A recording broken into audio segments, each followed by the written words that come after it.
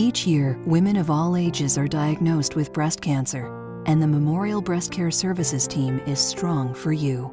Part of what I do is to really teach the patient about what's going on with them. Having all of us at the same place and being able to discuss each patient's case, uh, being able to uh, consult with one another, it's a great way to enhance patient care.